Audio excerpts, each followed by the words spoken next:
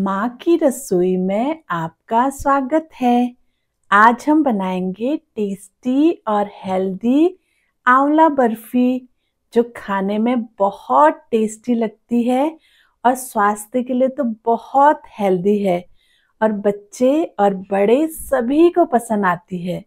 तो आइए बनाना शुरू करते हैं। सबसे पहले हम आंवलों को स्टीम के लिए रख देते हैं।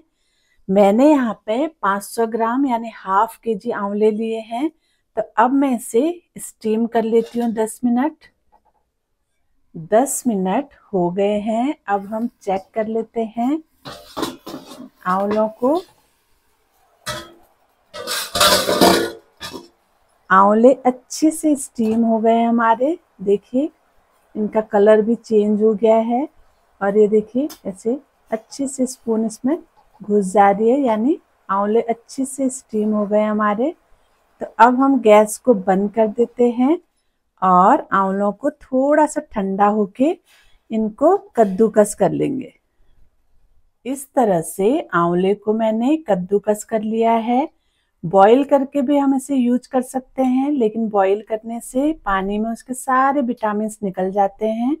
तो इसलिए आप भी इसी तरह से स्टीम करके इस तरह कद्दूकस कीजिएगा। अब हम गैस में एक कढ़ाई रखते हैं और उसमें डालेंगे दो बड़े चम्मच गाय का घी।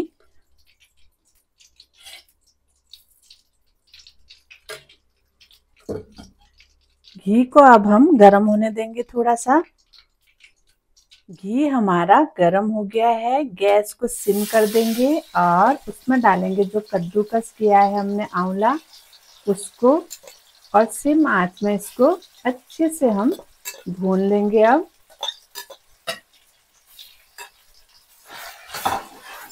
आंवले में भरपूर मात्रा में विटामिन सी होता है तो इसे किसी न किसी तरह से हमें खाने में यूज़ करना चाहिए। तो बच्चों को अगर खिलाना है तो इस तरह से अगर हम उनके लिए अलग अलग तरीके से बनाएँ तो बच्चे भी शौक से खाते हैं और उनके शरीर में खूब सारा विटामिन सी जाता है सर्दियों में।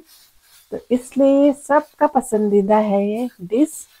तो आप भी ज़रूर इसको सर्दियों में बनाकर ट्राई कीजिए, क्योंकि सर्दियों में मार्केट में बहुत सारे इस तरह से आंवले आते हैं। तो इस तरह से किसी भी तरह से हम आंवलों का प्रयोग कर सकते हैं। आंवला अच्छे से हमारा भुन गया है। अब हम इसमें डालेंगे एक कटोरी शक्कर। और इसको भी इसी तरह से आंवले में मिक्स कर देते हैं और अच्छे से पिघला लेते हैं शक्कर को। अब हम गैस की आँच को मीडियम कर देंगे, जिससे हमारे शक्कर जल्दी से पिघल जाए। इस तरह से शक्कर को हम पिघला लेंगे। और अब इसमें डालेंगे हम जो मैंने बनाया है बादाम और अखरोट का पाउडर। एक कटोरी मैंने बादाम लिया और एक कटोरी मैंने अखरोट लिया और उसको इस तरह से दरदरा सा पाउडर बना लिया। तो अब इस पाउडर को भी इसी में हम ऐड कर देते हैं। सभी का माप मैंने कटोरी से लिया है।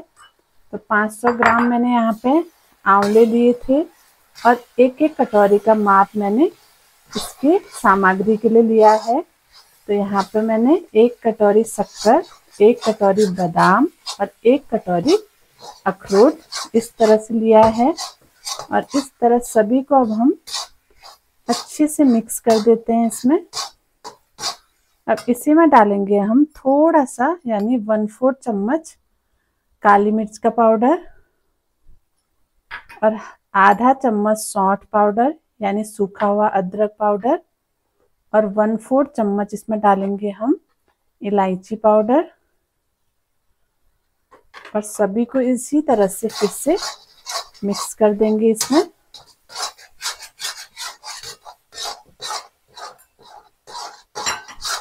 अब इसी में हम डालेंगे एक कटोरी मिल्क पाउडर और इसको भी अब हम सभी के साथ मिक्स कर लेंगे इसी में। मिल्क जो पाउडर है ना, मिल्क पाउडर, उससे बहुत अच्छा स्वाद आ जाता है इसमें। जो आंवले का कसेलापन रहता है तो वो नहीं लगता है इसमें। और बच्चे भी बहुत स्वाद से इसको खाते हैं। तो इसी तरह से अब सभी को हम मिक्स कर लेंगे। आँच को थोड़ा सा सिम कर लेते हैं, जो कि नीचे लगे ना।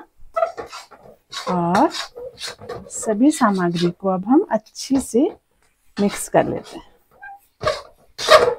अब हम इसमें एक चम्मच और ऊपर से घी डालेंगे, जिससे कि अच्छे से सभी सामग्री मिक्स हो जाए आपस में। और फिर से सभी को हम एक बार अच्छे से मिक्स कर लेंगे घी के साथ। घी से क्या होता है? सब अच्छे से मिक्स हो जाएँगे।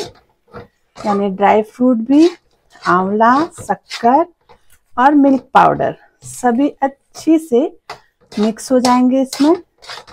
और पाँच मिनट हमें फिर से इसे पकाना है। इसी तरह हिलाते हुए देखिए, अच्छी तरह से मिक्स हो गया है। सिर्फ़ हमें हिलाते हुए पकाना है, क्योंकि ये नीचे नहीं लगना चाहिए। जिससे इसका स्वाद फिर अच्छा नहीं लगेगा। इसी तरह से हिलाते हुए हमें पकाना है। इस तरह से हमें बनाना है कि अपने आप इस तरह कढ़ाई छोड़ने लगे इस तरह से। देखिए, यानी अच्छी से बन गया है अब हमारा। अब हम एक प्लेट लेंगे और इस तरह से उसमें घी लगा लेंगे इस तरह से। अब हम इसमें डालेंगे अपनी बर्फ़ी को। इस तरह से पूरी प्लेट में हम घी लगा लेते हैं इस तरह। और जो बर्फ़ी हमारी रेडी है अभी, उसको अब हम गरम गरम इस प्लेट में फैला लेंगे इस तरह। इस तरह से पहले सभी को डाल लेते हैं पूरा। इस तरह।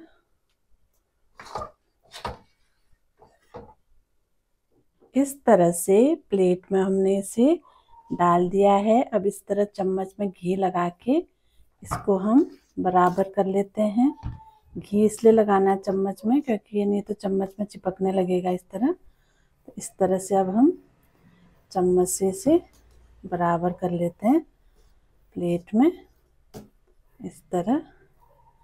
देखिए, खुशबू बहुत अच्छी आ रही है। जब आप बनाएँगे ना तो ये खुशबू तो तभी आपको महसूस होगी। और खाने में भी बहुत टेस्टी लगता है और सबसे बड़ी बात है कि ये हेल्दी बहुत है। तो इसलिए आप भी ज़रूर ट्राई कीजिए और ऐसी ही नई नई रेसिपीज़ के लिए हमारे चैनल से इसी तरह से जुड़े रहिए। मैं आगे भी नए नए तरीके की रेसिपी आपके लिए लाऊँगी और अपने दोस्तों को भी शेयर कीजिए रेसिपीज़ को। इस तरह से अब हमने इसको बराबर कर लिया चम्मच से। अब हम इसमें ऊपर से थोड़े से मैंने महीन कटे हुए पिस्ता रखे हुए हैं तो उनको हम छिड़क देंगे जिससे इसका लुक बहुत सुंदर दिखता है ऊपर से।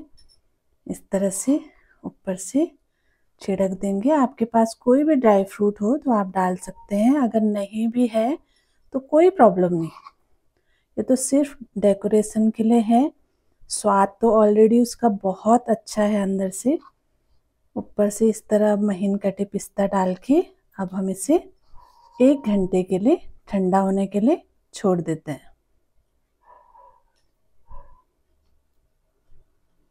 एक घंटा हो गया है।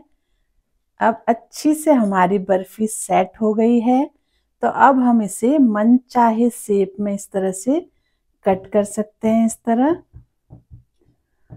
अच्छी से कट भी हो रहा है ये। इस बर्फ़ी को हम महीने भर तक खा सकते हैं। इस तरह से आप अपने पसंदीदा पीसेज कर लीजिए। लीजिए हमारी हेल्दी और टेस्टी आंवला बर्फ़ी बनकर बिल्कुल रेडी है। देखिए, दिखने में भी बहुत सॉफ्ट है। इस तरह से और खाने में तो बहुत टेस्टी होने वाली है ये। तो आप भी इसी तरह से आंवला बर्फ़ी को घर पर ज़रूर बनाइए। Thank you